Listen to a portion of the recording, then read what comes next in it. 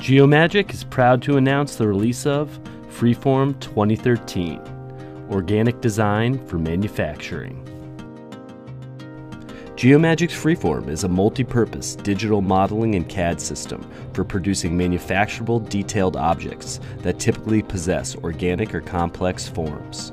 Geomagic Freeform utilizes multi representational formats to overcome traditional CAD limitations, leveraging the power of voxels, mesh, and NURBS geometry types within a single application.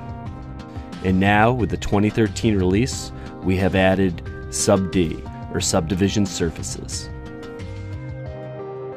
We recognize that our users expect Freeform to transcend standard CAD workflows and push the limits of what is manufacturably possible, and through this new geometry type, deliver exceptional surface quality, complex blending, direct NURBS conversion, and an overall superior modeling experience.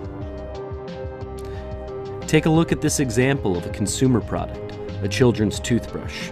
The toothbrush's mechanical mechanism came from a traditional feature based CAD system.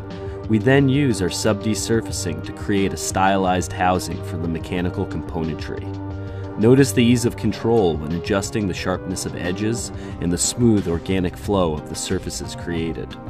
Once the sub D surfaces conform to the reference sketch planes, we can incorporate sculptural voxel elements, such as arms and legs, then adding manufacturable textures to the surfaces created. In the end, we realize the design intent by leveraging the power of sub D, NURBS, voxel, and mesh geometries. Texture capture. This new tool allows users to model any shape and use texture capture to create a bitmap or a bump map as a 2D grayscale image. Notice in the second example, the texture is captured in both directions, above and below the surface. Once the image is created, use another new tool, Emboss on a Curve, to apply the bump map along one curve or compress between two. Use numeric parameters to precisely adjust the way the texture is applied to the model, ensuring the texture's manufacturability. We have also added a new manual pattern piece tool, as well as automatic patterning options. Utilizing the Phantom haptic device, empower your sense of touch through collision detection as the objects make contact with the base model, you can actually feel the resistance or numerically set the overlap.